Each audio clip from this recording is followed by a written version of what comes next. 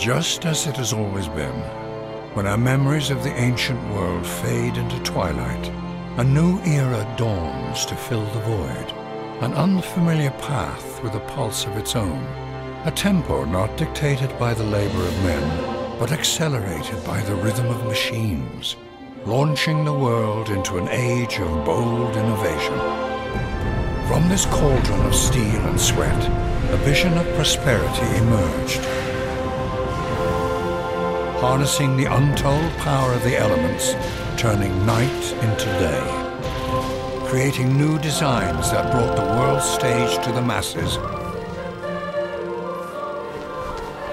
And providing an experience that many had never imagined.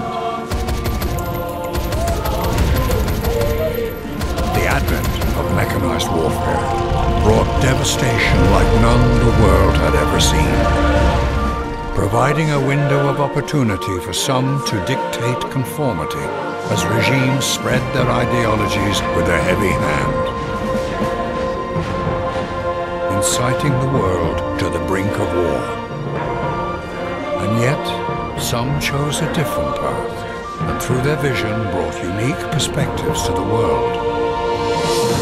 As singular proponents of free thinking remained, striving for peace in their endeavors to unlock the secrets of the universe. Some of which would fill our hearts with fear and regret. And as this progress unfolds, the finite nature of our world becomes clear.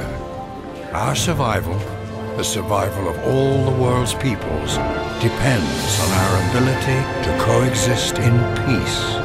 But this peace is tenuous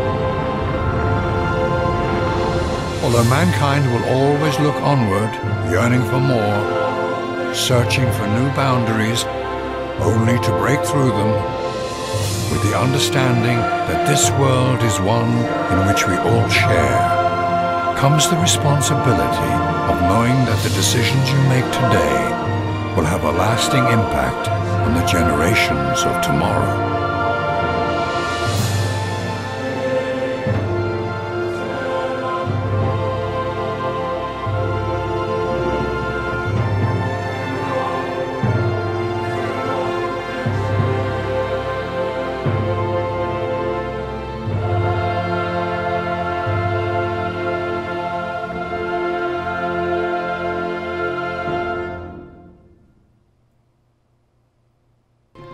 Здравствуйте, товарищи, and welcome to our Let's Play of Civilization V Brave New World. And uh, was it just me, or did that opening sequence kind of sound like a lecture from Al Gore or something? No, actually, I really enjoyed it. I thought it was actually pretty moving. Anyway, uh, as some of you may know, I've done two Let's Plays of Civilization V, um, both of which either never ended, or still theoretically in existence, or ended really terribly. So let's hope we can finally have one really good one that'll take us to uh, the actual conclusion of a civilization game. That being said, I hear a lot of good things about Brave New World, and it adds a lot of good features that really uh, shuffle the board in terms of civilization. So I'm excited to jump into it, and I know a lot of you are really interested in seeing what exactly um, Civilization: A Brave New World will bring to the the playing the playing field. I'm always I was like huge maps because well they're the most interesting and I like to have lots of lots of stuff going on. Anyway, let's talk about let's go over some of the new civilizations they've added. Um, I'm going to be playing as one of them and uh, they've added nine, or so I believe. Anyway, we have uh, Morocco, we have Assyria. Uh, let's go down, down, down, down, down. No, we have Poland. I believe Poland is new. Uh, down, down, down. Venice. Uh, the Spice Islanders.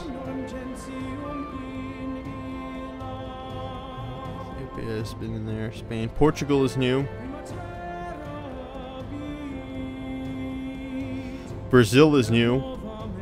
The Shushan.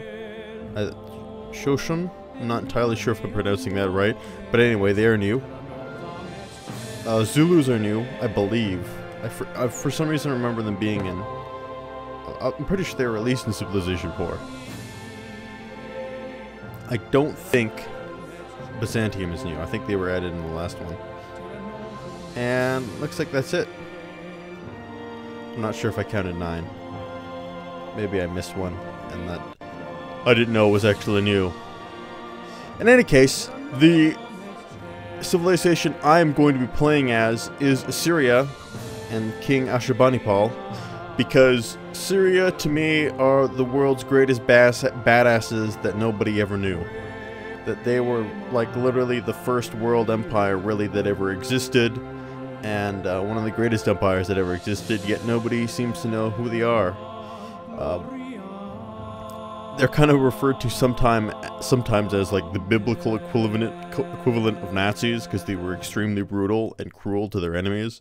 And maybe we can talk a little bit about uh, about some of that later. In any case, I think they'd be cool to play as. So let's read what their bonus is. When a city is conquered, you gain a free technology already discovered by its owner. Gaining a city through trade deal does not count. It can only happen once per enemy city.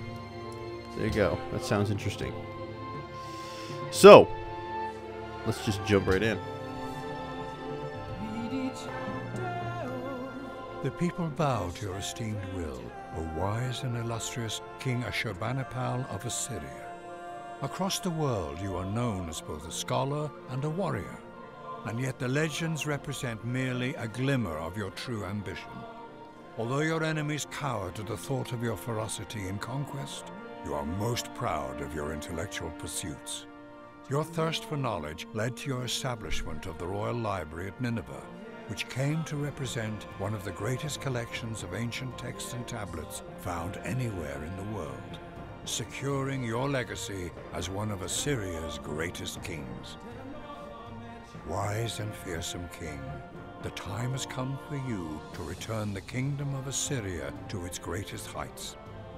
Will you once again strive to acquire the knowledge and histories of all the world's peoples? Can you build a civilization that will stand the test of time? Yes, I can, narrator. Um, alright, well this seems like a decent enough place to set up a first city.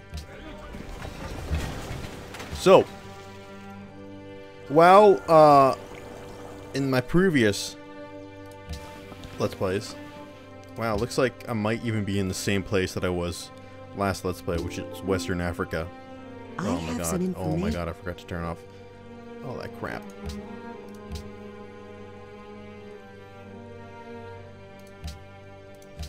Anyway, as I was saying, as in my previous Let's Plays, uh, I used to just do it so the only victory was military victory. However, I hear that in uh, Brave New World, they've really focused in on the other victories, um, making them much more interesting. So I've enabled all victory conditions this time. Cool. I got an advanced technology. Look at me.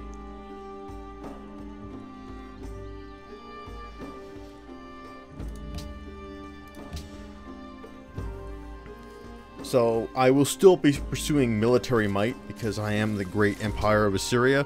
However, just because at some point where I've dominated the entire world, making it obvious that there's no point where anybody could beat me, um, that doesn't mean one of the other civilizations won't sneak up and try and claim a cultural victory underneath my watchful eyes. Hmm, okay, maybe I'm not in Africa. At first I thought that might be an ocean, but turns out it's just a lake. Sorry, everyone who was getting really excited for that to be an ocean. So I'm not the best uh, at civilization. I'll be the first to admit that because I will admit what I'm good at and what I'm not good at. And uh, generally my strategy at the first opening sequences is to um, expand everywhere as I possibly everywhere I possibly can. So I will take uh, liberty, considering it is for civilizations who want to expand the fastest, which is exactly what I want to do.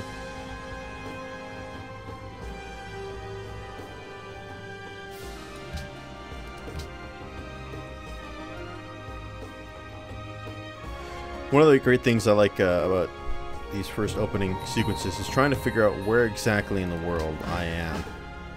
No, thank you.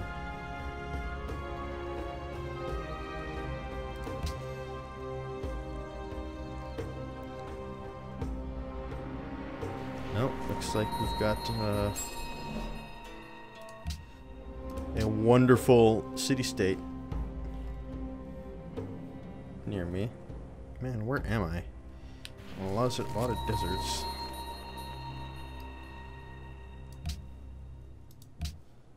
I feel like this has to be like the Sahara Desert, and up here is like North Africa, maybe. Thou shalt.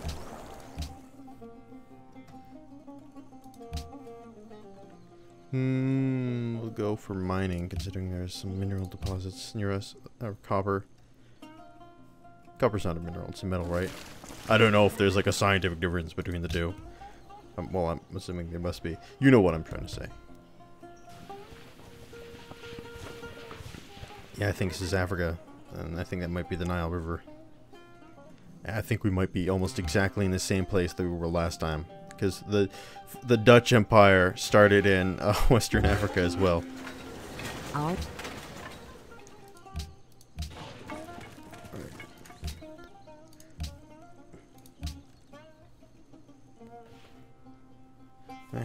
City-states right beside us.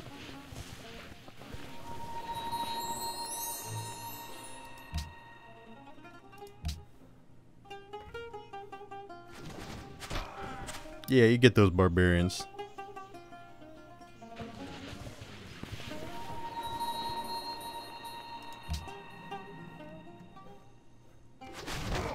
Yeah. Yeah, you get them so we don't have to.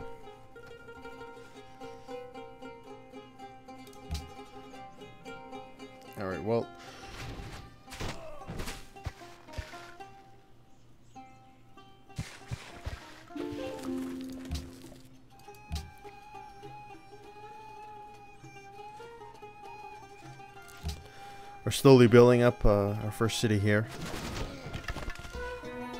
Man, I really gotta turn off this crap. Wow, we are surrounded by city-states. But no empires for us to conquer that we have so far scouted out. And of course we can gobble up these small city-states. I can adopt a new policy.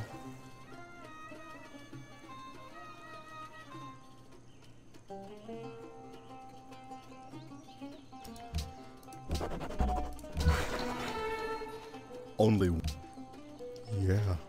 Only one unit per tile.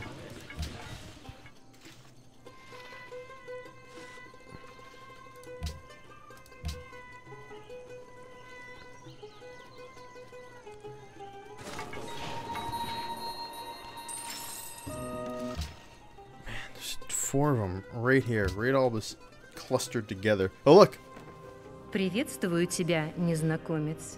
Если твой ум и такт сравнимы с твоей привлекательностью, мы замечательно поладим. Yeah, okay. So we got the Russians near us. Cities, like military units, can defend against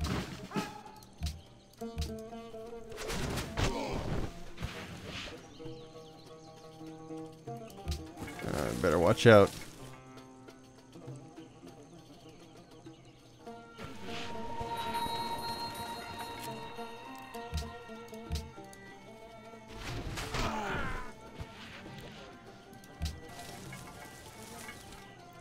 Fortunately, these barbarians look like they're extraordinarily confused. Is there another city-state right below us?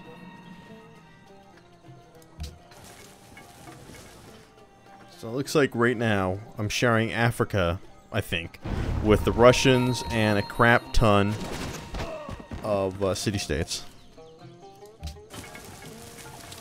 Man, I hope the Russians could really help us out here.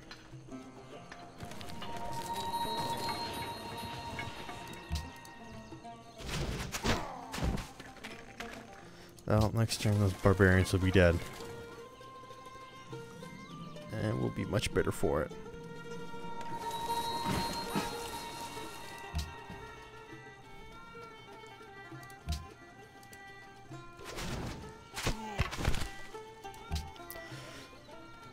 Fortunately, they were able to just devastate one of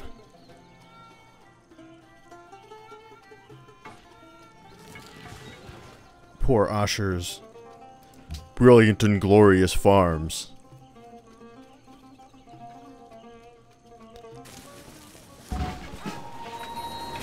We have no combat units defending our territory. Okay.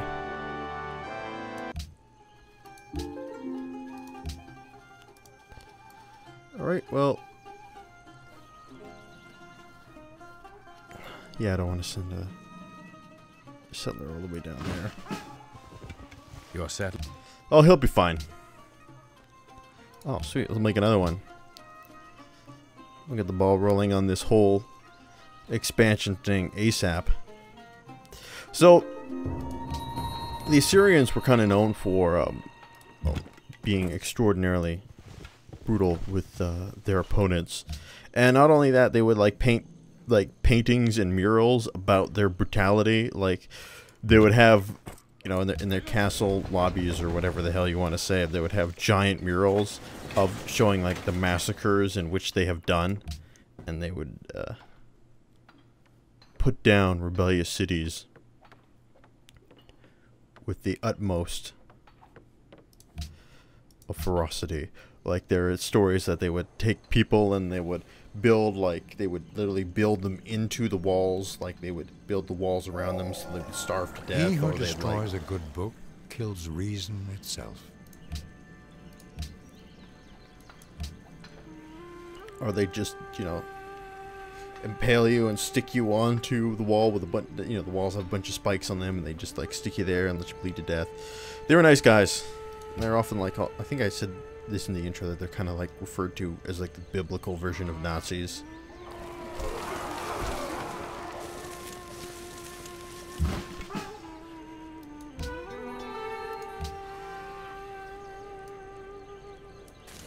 But they were the first ones to really establish uh, the empire, the version of the empire that came to dominate human civilization. The first one is to really establish traditional and standardized armies and trade routes and all those types of good things that you associate with what they call the benefits of empire, if you will.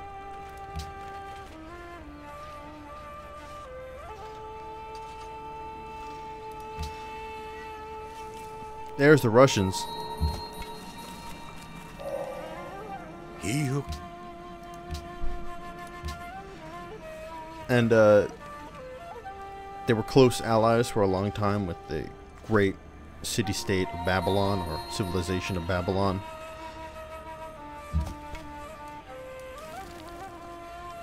And I can't remember the exact story, but at one point, sort of Babylon betrayed the Assyrians, or they perceived it as a betrayal, and they completely wrecked the city. That there are civil, there are historians that say that the Assyrians destroyed Babylon with the force of a nuclear bomb. That they tore down the walls, they sowed all the fields with salt, they diverted a river over it, so uh, it could never be seen again. Except they, instead of, you know, using atomic force, they did it all by, uh, or all with their hands. So pretty cool guys, all in all.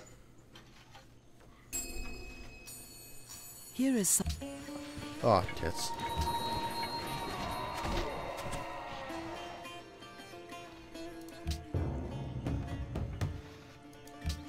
I should research archery and make sure I've got archers in my cities to ward off barbarian invaders. And have them heal.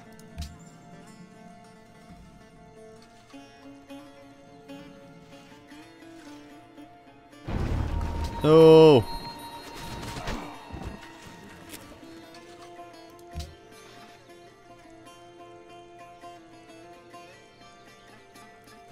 And they really like to burn that farm. That one particular farm they just seemingly do not like.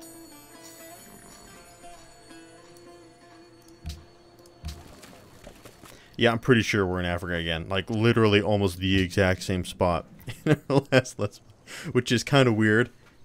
Did I did I skip over shooting them? I think I did.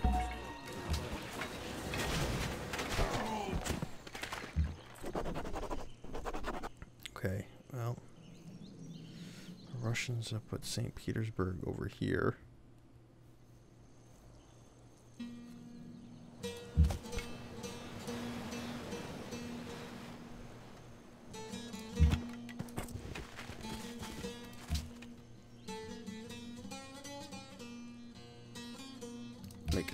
to help me see.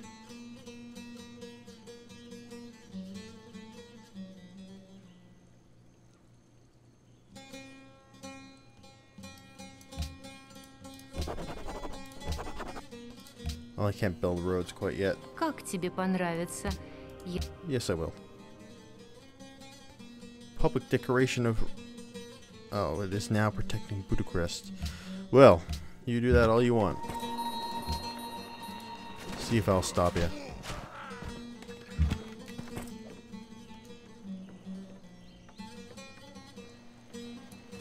Oh shit! No! No! No! No! No! No! Fuck. That's bad move.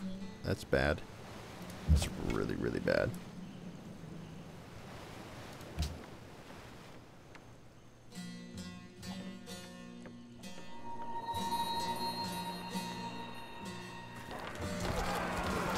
Maybe I get lucky and they'll leave it alone.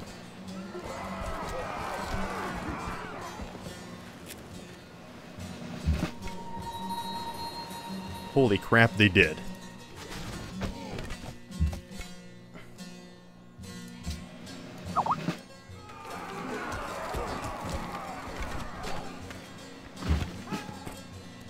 We have succeeded.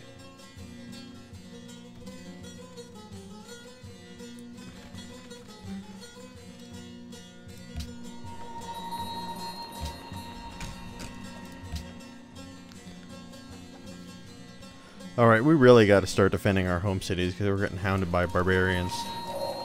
Man, more of them.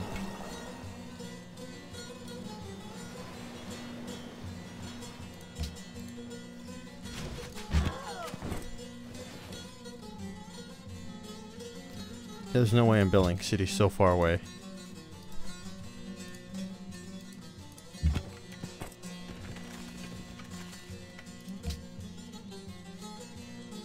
I research archery? I think I did.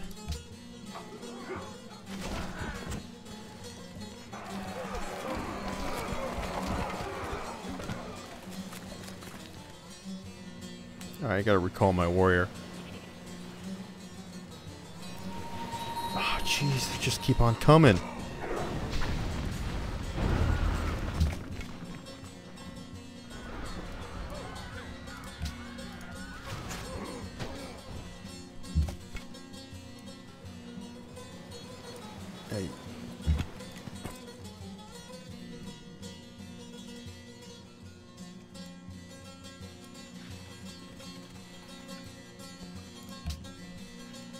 Well, hopefully Wittenberg will defend my settler.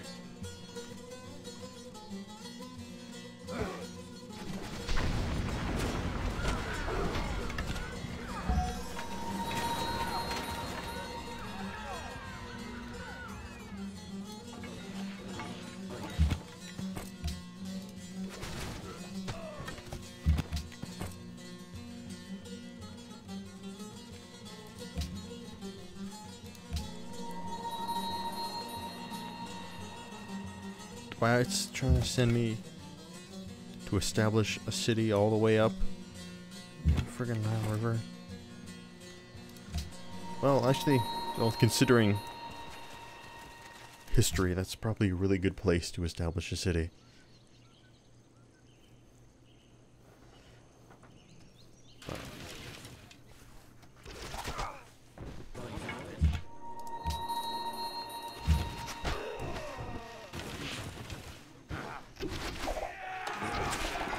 Get them, scouts. Alright.